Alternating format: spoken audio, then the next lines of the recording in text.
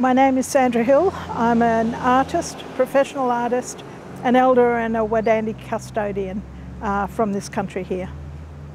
Um, the work I've uh, been doing is the um, telling the story of our, our bloodlines, our community and uh, our culture. Hi, I'm Ian Mutch, artist from Dunsborough, Western Australia. Uh, it's a real honour to be collaborating on this wall in Margaret River with Jack Bromell and Sandra Hill uh, with support from Augusta Margaret River Shire and Creative Corner. How you going? My name's Jack Bromell. I'm an artist born in Perth and raised in Busselton. The, the image, the circular image here is uh, the pattern that you find on our shields and the, the dots are like the paint that we have on our bodies for our corroborees. And there will be a red line around the central core which will be our family bloodlines.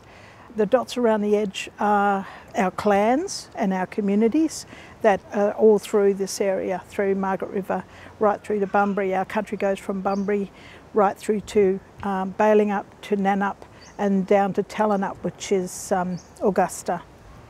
The brown in the central circle is uh, Wadandi Boodja that represents the earth, uh, Mother Earth. The red is for blood and bloodlines.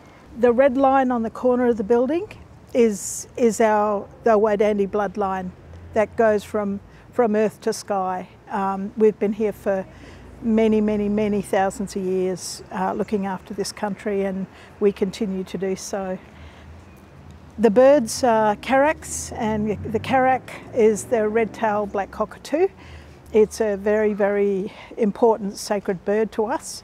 They're renowned through this country and they're symbolic of this country. It's also the totem of Wayne Webb, who is the cultural custodian from this area. He lives in, in uh, Margaret River, and uh, these birds are his totem.